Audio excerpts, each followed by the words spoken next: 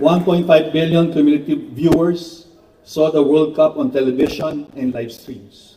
Manila, as the host city, enjoyed 1.98 billion pesos worth of media value as, as its name was seen and heard around the globe in relation to the event. We welcomed at least 10,000 tourists to our nation, 70% of which said they will recommend visiting the country to their peers. 77% of them said they would turn themselves.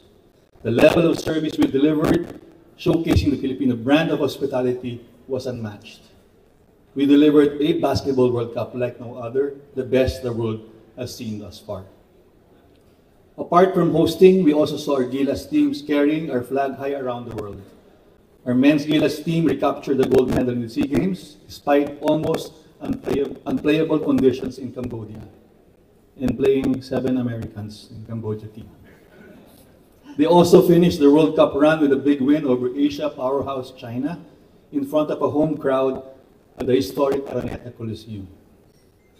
This was followed by a successful Asian Games campaign in Hangzhou, China. Tayo naman bumisita, pero pareho ang resulta. Sabi nga ni MVP, there were so many times in China that they made it difficult for us to play. We won over China again and went all the way to deliver the country's first gold medal in basketball in 61 years. What an inspirational run by our Gilas team in China, one that is truly for the books. Our Gilas women also had a great year as we entered the quarterfinals with the FIBA Asia Cup held in Sydney last June. We ended up sixth, sixth place and were on the game and were one game away, just a few points away, in fact, from getting a chance to play in the OQTs for the first time. They also brought home the silver medal from the SEA Games and have qualified for the pre-qualifying tournament for the 2026 Wo- Women's World Cup in Berlin. From 42nd, our women now rank 37th in the world due to their success in 2023. The Batang Gilas program also made us very proud last year. They took home the SEABA uh, U16 gold medal with ease.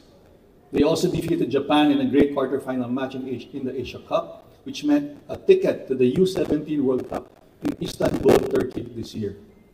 Their victories last year has pushed us up to number 25 in the world. We were also successful in the space of esports. Last November, our e-Gilas team, na meron ding e-Gilas team, completed, uh, competed in the very first edition of the eFIBA World Cup. We earned a spot in the semis, only to bow down to the eventual champions, Team USA. We placed fourth overall. Our 3x3 program also had, very, uh, had a- their first share of victories.